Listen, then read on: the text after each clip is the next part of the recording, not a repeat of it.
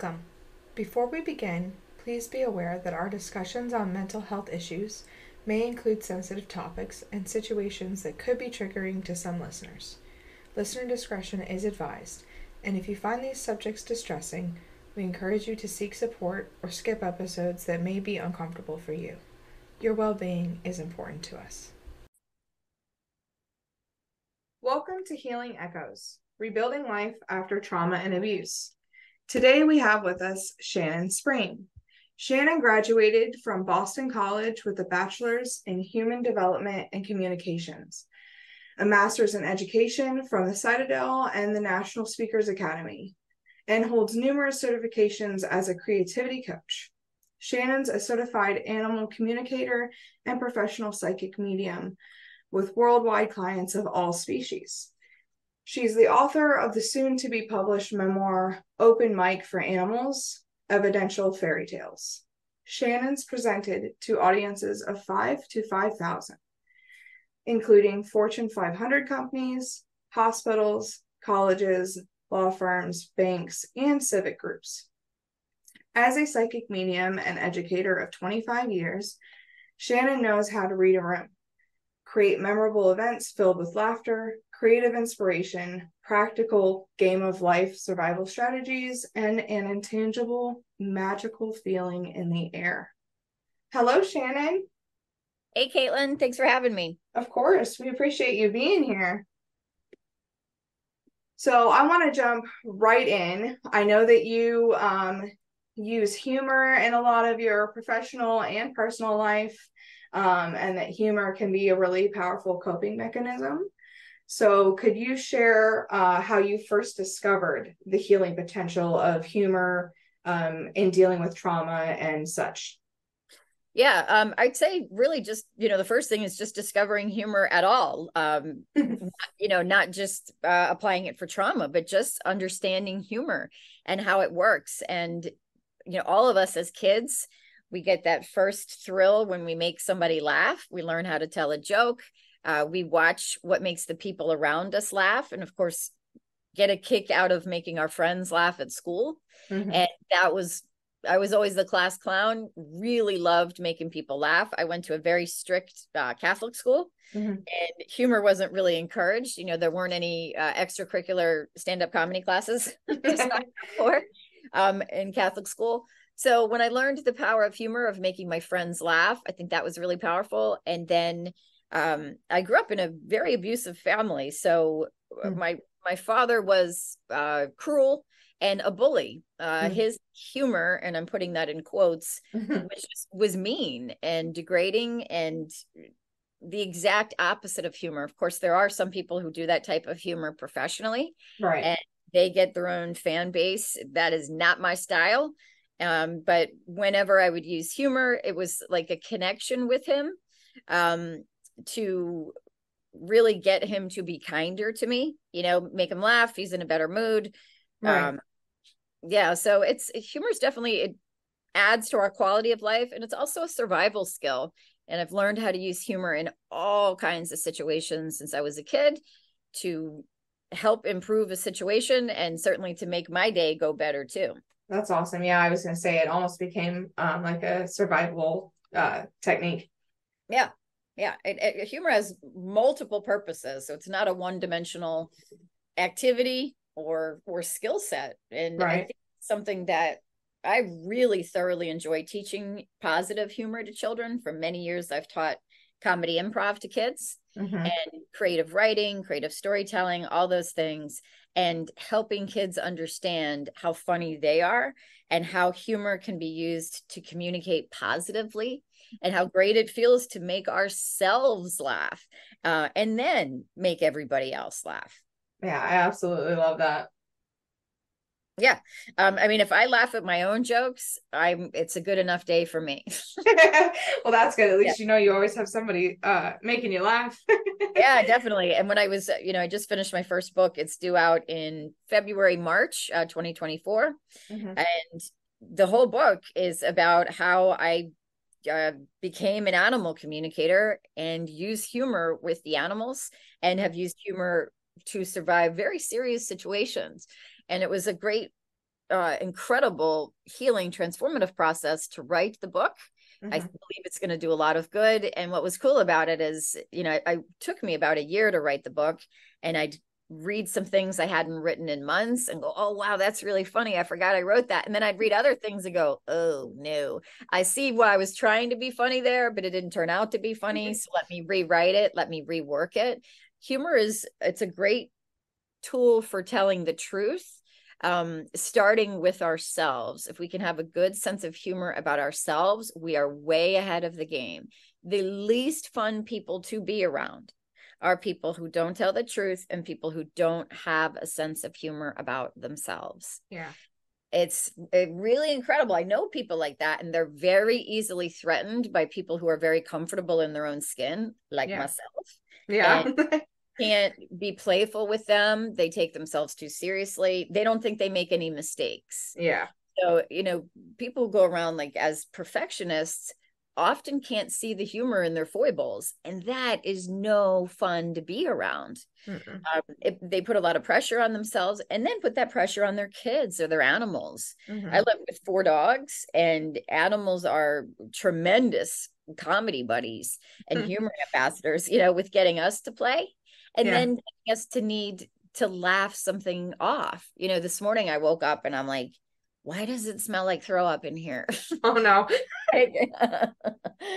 and trying to find the source of that, you know, and as long as nobody's sick, eh, you know, you can pretty much laugh off something that's happening and really, really put things into perspective and understand what our priorities are. And one of my number one priorities, especially with the older I get now, is just have more fun and lighten up.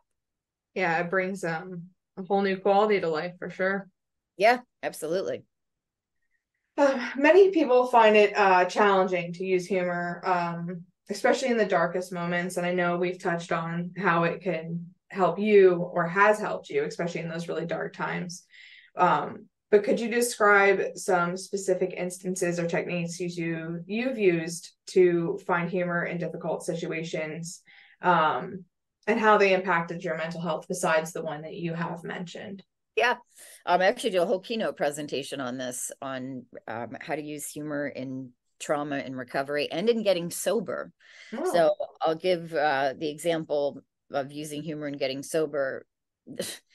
the sobriety movement is not really known for being fun and games and a, and a laugh a minute. It's no, um, you know, very very heavy and very serious understandably. However, I think there is a tremendous need to add balance in recovery. Um, the whole healing you know movement for lack of a better word can just get enough already with people just telling their sad stories over and over and over again. And it can work against us if we're just telling the stories but we're not um, taking action to add in the positive on top of the negative. You know one of the best ways to drown out bad painful memories is to start crowding them out with good positive memories there's a time and a place to discuss our trauma and to heal our trauma but if that's all we're doing we're going to stay stuck and get worse so um, i realized i needed to get sober and quit drinking um, you know it's really interesting. Words are very, very powerful. The way that mm-hmm. we speak about ourselves, the things that we uh, label things in society. A lot, you know, think of the term adult beverages, mm-hmm. right? Oh, there'll be some adult beverages there. There'll be some adult beverages. I'll tell you what, man. One of the things I realized that I started becoming, I don't know, for lack of a better word, jealous of kids over is that you go to a kids' party and the kids are just having fun. Yeah and they're just playing and they're being here's a big word they're being themselves which adults forget how to do and mm-hmm. then they mm-hmm. need a crutch you know they need their coffee they need their alcohol they need their smoking or vaping or oh my god you know something uh, it's really depressing honestly and mm-hmm. not as much fun to be around so uh, when i just started to remember like what were the things that i enjoyed doing as a kid all right, you know, break it down. I liked playing with dolls. Can I play with dolls as an adult? you know what? I can. Um, and actually, a friend of mine and I are getting ready to revive my children's puppet shows. That's awesome. oh, my God. They're so much fun. Again, because, you know, we'll break it down step by step. I can write a funny puppet script. So mm-hmm. that's a comedic activity right there where I can take a problem, um, such as, well, if I'm going to do an adult puppet show, I can do it on sobriety.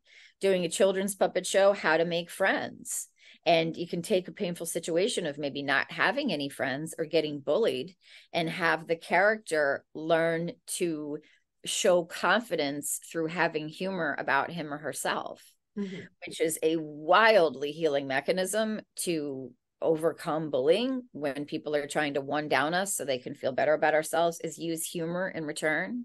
Mm-hmm. um, it's not always desired to use humor. It's not always appropriate but that's up for us to decide you know how we want to handle the our feelings or how somebody's treating us. Right. Um, and so watching how the things that i used to like to do as a kid i started to remember okay i liked to play i liked to be outside i loved being around animals i loved performing and then adult me needed to have a consult with younger me and kind of you know kick the therapist to the curb and say okay younger shannon what made you happy and how can we help older Shannon feel happy? And that's when I started getting back to play and creating a whole business on play, which I'll get to in a moment. But mm-hmm. sticking with the theme of sobriety, um, we use the term partying. You know, in our 20s and 30s, oh, let, you know, we're going out and we're partying, we're partying, we're partying. Well, mm-hmm. at what time, you know, at what point does it turn and switch from partying to just being a drunk? Yeah. You know, and you're not partying when you're not actually even remembering the party anymore. Yeah. Or the next day you wake up and you feel lousy emotionally or physically. Um, so redefine that term, redefine what an adult beverage. For me, an adult beverage is water. Yeah. you know, and and it's so interesting and dichotomous when we think an adult is supposed to be responsible, mm-hmm. right? And then we throw the word adult in front of beverages and that's the opposite of responsible here's an alcoholic drink that's going to impair your judgment and we're going to label that adult. Yeah and how much society pushes that you, it's so weird to be sober. I know when i went through my sobriety it was always expected for me to partake in those adult beverages. Uh, oh yeah. I went to an event the other night um, a theater in tampa and they advertised your ticket comes with four drinks. I was horrified by that, by how irresponsible that is. You know, the people you got people drinking and driving. You yeah. Got, you know, you don't need four drinks. This no, is four is enough to do some damage. It is, and you know, I I am preaching to the choir because I believe in practicing what I preach. I was drinking like a double bottle of Pinot Grigio for a day for a while. Mm-hmm. Um, so you know, that's like eight glasses of wine, and bad habit. It was increasing depression, increasing anxiety, increasing mm-hmm. PTSD. It's literally doing the exact opposite of what we wanted to do. I think one of the trickiest parts is when you talk about sobriety to people, it can be very threatening because being an adult sucks a lot of the times. You know, we are the ones, as opposed to kids, that in general are going to need more strategies to manage our stress because our stress continues to multiply. mm-hmm. we have more health concerns, we have more pressures on us, more responsibilities, all these things. So, Absolutely. humor is a positive, easy, fun, healthy way to recover from whatever stressing us out. So I took the responsibility to kick adult beverages to the curb and I got myself to one and only AA meeting. And I went into the AA meeting and I happened to choose like there's so many AA meetings out there. Um, and I chose like the scariest one. And the moment I walked in the room, I was like, oh God. Um, because people looked rough. Right. really rough. I still looked okay, you know, like I still looked healthy despite being, you know, in really bad shape. And you have to go around the room. And of course, you know, the two biggest rules are obviously don't drink. And then you have to, you know, give their, and I'm just going to speak freely here as I always do. Mm-hmm. It, to me, it's a bit of a cult. And everybody has to say, I'm so and so, and I'm an alcoholic. And if you don't say that, you're breaking the rules. And if you don't say it, now you're the biggest alky in the room, you know? Right. Um, I don't agree with that. I think if you're going to recover for something, or I'll speak for myself, if I'm going to recover from something and make a positive change in my life, I'm not going to identify myself with the very freaking thing that I want to, you know, get rid of, change, right transform. That's ridiculous. You're never going to hear me say, I am depression. I am PTSD. So yeah, you have the thing. You don't have to. Yeah, why would I thing? say I am an alcoholic? It's like for some people it works. And so for them, you know, hooray, that's awesome for me, I had to come up with my own strategies. And that's all any of us can ever really do is speak for ourselves and what works for us. And when I'm given talks and keynotes, it's here's my story, here's things that I have done. You take from it what will help you, leave the rest alone. Uh, but don't attack the way that I'm doing it, or don't criticize me for what I'm doing it, or attack and criticize, but just know it's not going to matter to me. Right. Because I am, you know, happily and very successfully sober for around 13 years. Congratulations. Well, thanks. There's a, you know, most people know like the exact date or the exact year. Mine's a little more complicated. I um, feel it.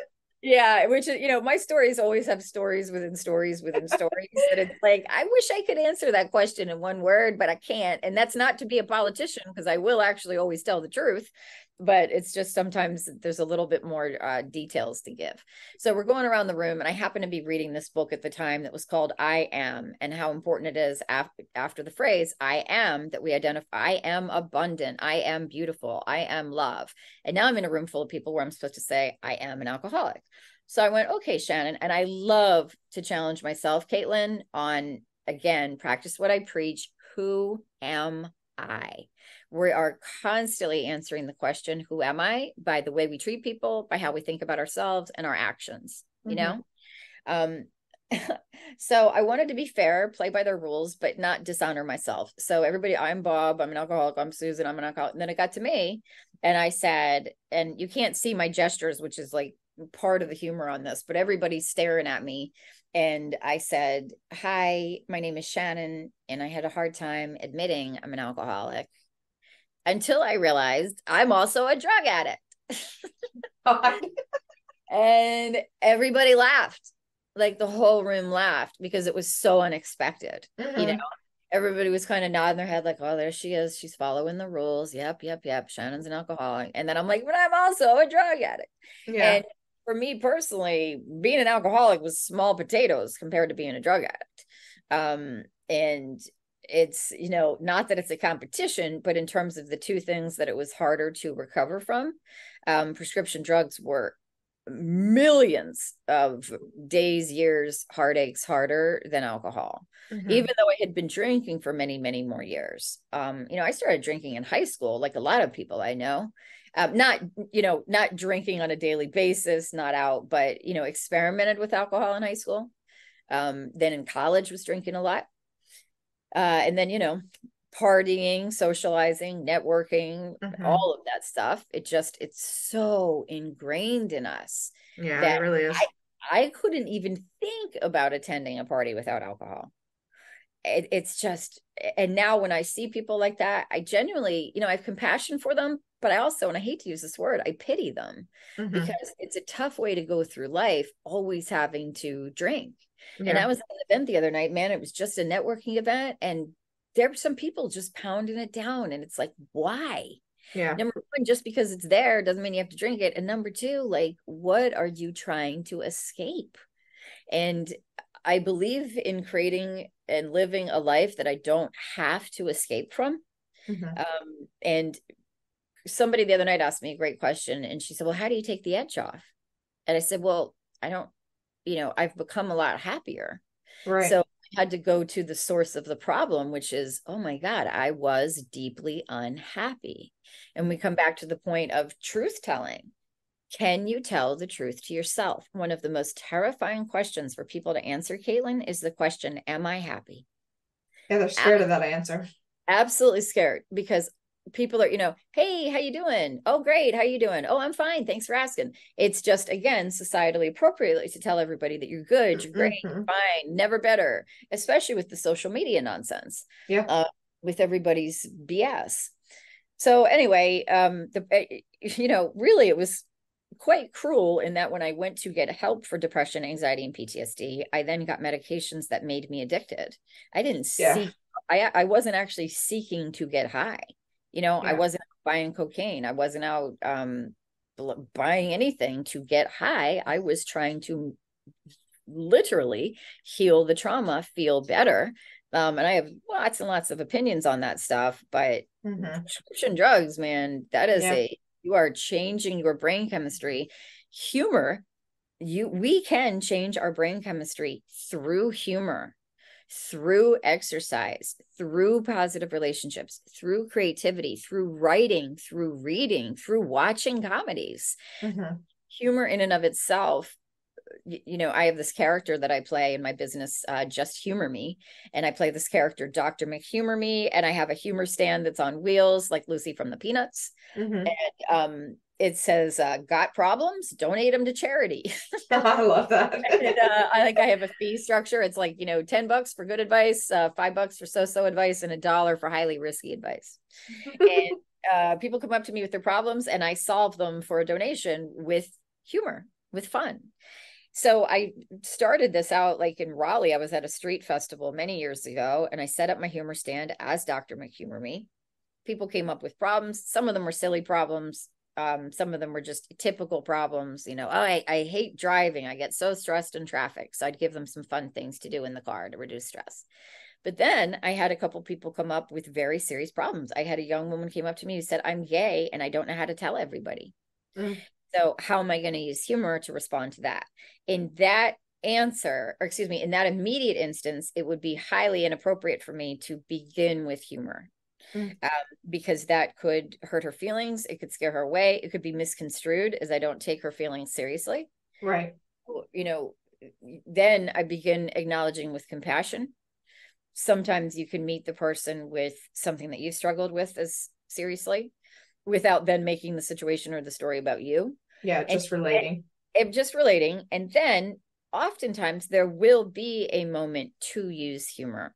Um, sometimes I have many, many resources and games and activities that I do, Caitlin, to help me find the humorous perspective in a situation mm-hmm. and other people. This is why I lead humor retreats. Yeah. And and teach people, okay, let's take something about um, you know, your sexuality, or let's take addiction, which those things aren't funny, but mm-hmm. we can find humor in them. And the moment that I made that joke in the AA meeting, the second I made myself laugh, I sent the message to my brain, my heart, my soul, we're going to be fine.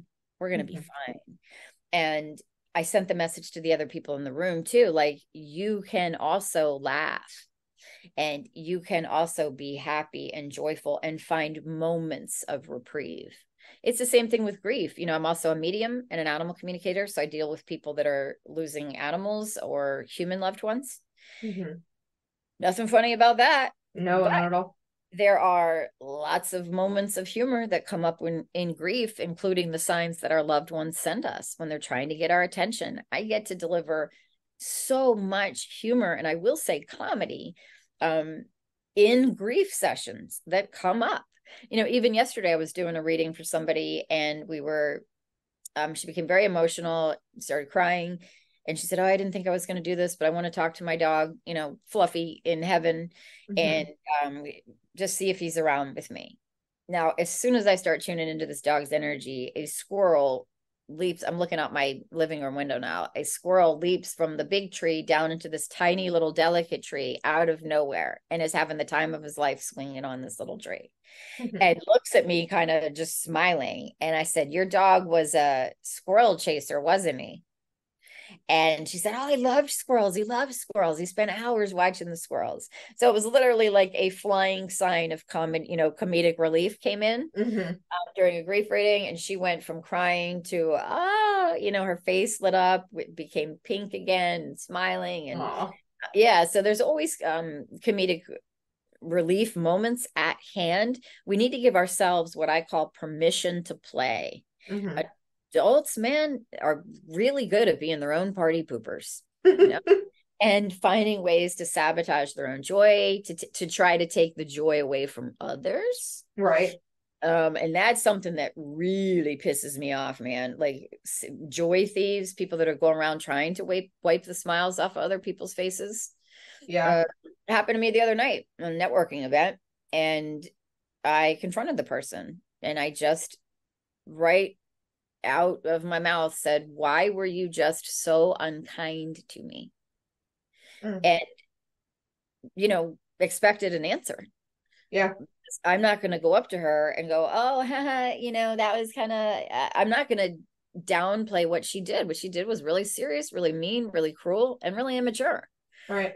And I don't put up with bullying of myself or of others. There's lots of ways we can handle it. Um, I took a comedy improv class up in St. Pete the other day. Mm-hmm. And inherently, that's going to be fun. You're there to play fun and games. Right. So we're in the middle of playing the games. All these, I love, love, love comedy. Improv Man is a wonderful tool in recovery from depression, from anxiety, drugs, and alcohol. It forces us in a positive way to be in the moment, mm-hmm. get out of our heads, get into our hearts, and get into play. Again, the more that we can become childlike, not childish, mm-hmm. the happier our hearts are going to be, um, the healthier we're going to be so we're playing these games and um to set up a couple of the times when it came to me to be like the final person to close out the improv story i it had like a sexual innuendo the job you know the way to wrap up the story or the game something like that it's a group of adults you know mm-hmm. people in there in their 50s and 60s and even a couple in their 70s so right. of, of age by many years and i was like the second time i said something the whole class laughs but this one woman, once again, man, says, Oh, sounds like somebody's not getting enough. to which, without missing a beat, so she's trying to use humor, but it's not humor, it's actually cruelty. And you know, trying to insult. She's trying to reduce me. Oh, you're having so much fun. Oh, you getting a laugh from everybody. Well, I don't like the attention you're getting. Let's get the attention on me, and I'm going to cut you down. Mm-hmm. So, to my credit, I was like, nope, not on my watch. And so she makes her comment, you know, oh, somebody's not getting enough. And I looked right at her without missing a beat. And I said, or I'm getting so much, it's just pouring out of me. and then I got an even bigger laugh. So, what I have responded with is not mean and it's not cutting her down, but it does build me up with, you're not, I'm not going to play this game with you. Yeah. You know? All of us show our character through how we treat other people and how we treat ourselves. And if we're treating uh, if we're treating ourselves poorly we really are inviting other people to do the same.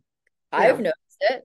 You know i noticed the other day uh, somebody was trying to break one of my rules as a client and i noticed myself i have a rule that it can only be the client present for the session. It's mm-hmm. a really important rule. That means you can't have your husband show up. You can't say oh my son's here. Oh my daughter's here. Oh my neighbor's right. just you. It's just you. That's it. This is a private reading unless it's pre-approved by me. There are a lot of reasons for that for my client's protection so that you know maybe there's somebody in the house that's controlling or abusive or narcissistic. Many of the animals have told me about domestic violence situations. Oof it's also for my own focus. I'm doing a reading for one person, not your entire family. Right. Uh, so again, it has to be pre-approved. So she put me in an awkward situation because she was in severe grief. So I'm naturally very compassionate, and that's what I'm supposed to be doing. And then she drops a person on me. Oh, by the way, my, you know, I'm just gonna say family member is here. Mm-hmm. And I'm like, oh, ah, ah. So I find myself over apologizing to her, Caitlin. Mm-hmm. All I needed to do was say, oh, I'm so sorry, you know, but this is just a reading for one person. He's more than welcome to book a session on his own, or you're more than welcome to book a session in the future for the two of you. But for day for today, it's just going to be you and I. Yeah. Instead, I find myself being a little apologetic, a little people pleasing. I'm not naturally people pleasing person, but I do try to be very cooperative. I try to be very flexible. So we're all constantly walking these fine lines between being agreeable people, having boundaries, you know, above yeah. all showing respect to ourselves. So anyway, so I'm I'm always trying to be aware of where can I use humor appropriately? Where can I use humor to reduce stress? And then sometimes where can I just avoid pain and stress and prevent it by standing my ground firmly and unapologetically, you mm-hmm. know? Um, none of it's about being a jerk, but no. humor, yeah, humor definitely is not about cutting people down, reducing them. I see it happen when it happens in any of my kids' classes, which is, and by kids' classes, I mean when I'm the teacher. Right. Um, it rarely happens because I set the tone for that as the teacher.